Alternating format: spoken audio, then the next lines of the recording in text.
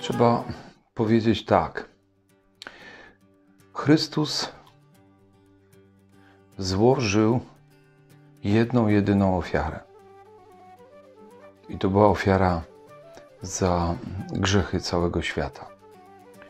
I dlatego y, nie możemy powtarzać takich błędnych stwierdzeń mówiących o tym, że w czasie każdej mszy świętej dokonuje się ofiara. Otóż y, można powiedzieć, uobecnia się ofiara. Wydarzyła się 2000 lat temu w Wieczerniku i na Kalwarii i teraz ta ofiara y, wybija miłością, pokojem i sprawiedliwością. Staje się źródłem. I dlatego, kiedy my przychodzimy na Eucharystię, to uobecniamy owoce tej ofiary. I każdy z nas może ją, może te owoce zabrać. Potrzebujesz pokoju, możesz zabrać z Eucharystii.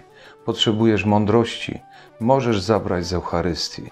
Potrzebujesz odnowić relacje. Właśnie po to Jezus umarł na drzewie krzyża. Jezus Chrystus złożył raz na zawsze ofiarę, a my teraz korzystamy y, z, ze źródła tej niekończącej się łaski.